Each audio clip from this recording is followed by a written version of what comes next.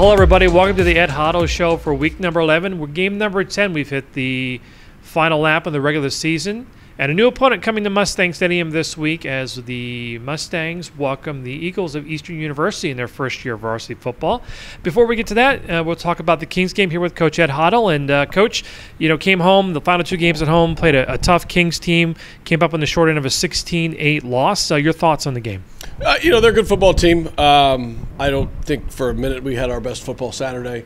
Um, that being said, we you know we had some opportunities late um, unable to capitalize, and you know we've got to got to go out Saturday and win to keep any postseason hopes alive. Yeah, and we'll, we'll talk about the Eastern Eagles. Obviously, they've built the program for a bit. You're familiar with that, you know, the stuff you've done at Gallaudet, and obviously built the program here at Stevenson. Talk about the challenges of, of, of, starting a program. I mean, Eastern, they they've had a, like my old football coach Steve Briggs at Susquehanna used say when King started, Coach Mannello he bought every shoe, bought every helmet. What are some of the challenges going into to building a program? The challenges are infinite. Mm-hmm. You, you know, it's the things that you don't necessarily think about are the things that kind of get you.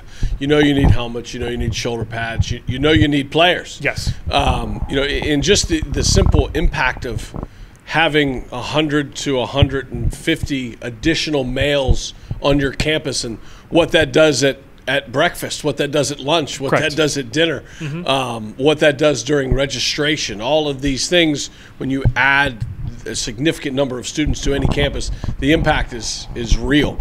Um, you know, it, it's a challenging, challenging, challenging process. I know that that staff and those players are likely ready to be done. Mm-hmm. Um, it is a long slog through that first season. You know, they've they've had some success. I yep. think they've won two games.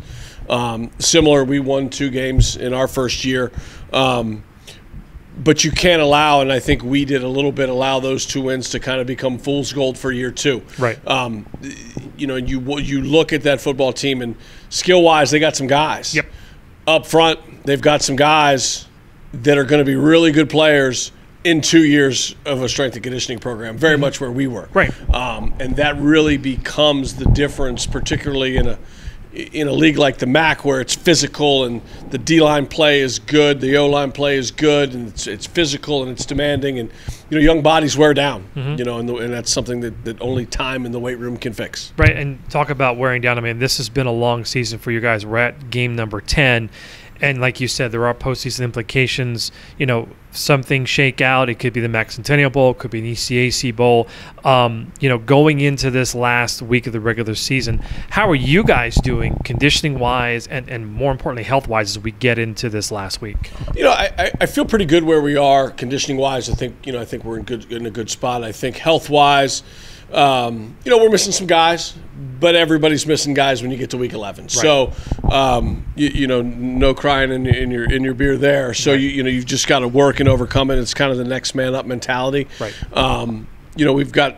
You know, I, I try to look at it in the sense of what is today's misfortune becomes tomorrow's depth and experience. So it's it you know when you have injuries and the door opens for a younger player it's an opportunity for, for a guy to get valuable experience where he may not otherwise get that experience. So, um, you know, we've got to go out and we've got to play great football. What are what are going to be the keys today for beating? A, a, again, Eastern. They've got some players. It's a new program you haven't seen. What is going to be the key today for you guys to be victorious? I think it's going to be O line play, D line play you know, can we control and dominate the line of scrimmages? I think if we can do those things, um, be efficient in, in, you know, particularly running the football, um, be efficient in getting off the field on third downs defensively, I think we'll be successful. All right, good luck today, Coach. Thank you. All right, we're at game number 10. It is Stevenson taking on Eastern. Again, uh, a lot of postseason implications, hedging on this game and some other games. So we'll be back next week some way. And we thank you for joining us today, and we will talk to you next week. Go Stanks.